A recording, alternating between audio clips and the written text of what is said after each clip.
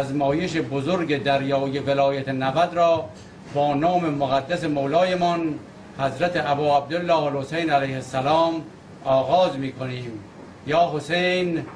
یا حسین. یا حسین. دریافت شد.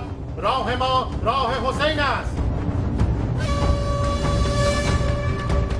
در نخستین روز از مرحله مقدماتی رزمایش دریایی ولایت 90 تیپ‌های تفنگدار، یگانهای تکاور گشت دریایی و عملیات ویژه در منطقه عمومی رزمایش گسترش یافتند و سایت‌های موشکی نیز آماده و یگانهای شناور به خط شدند.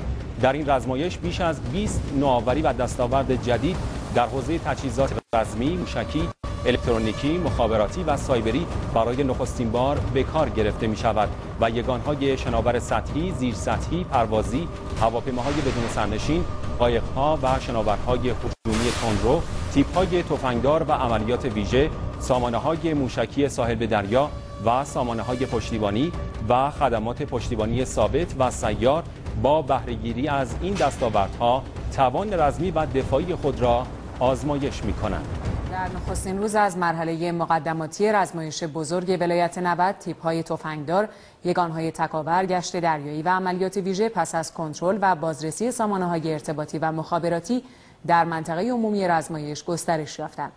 همچنین دریادلان ارتش جمهوری اسلامی ایران پس از گسترش سایت های موشکی، یگانهای آمادی، بهداشت و درمان و بیمارستان صحرایی با بکارگیری و آماده سازی یگانهای شناور اقدام کردند. در آزمایش دریایی ولایت 90 بیش از 20 نوآوری و دستاورد جدید در حوزه تجهیزات رزمی، موشکی، الکترونیکی، مخابراتی و سایبری برای نخستین بار به کار گرفته می شود و یگانهای شناور سطحی، زیر سطحی، پروازی، هواپیماهای بدون سرنشین، قایقها و شناورهای هجومی تندرو، تیپ‌های تفنگدار و عملیات ویژه، سامانه‌های موشکی ساحل به دریا و سامانه‌های پشتیبانی و خدمات پشتیبانی ثابت و سیار با بهرهگیری از این دستاوردها توان رزمی و دفاعی خود را آزمایش می کنند.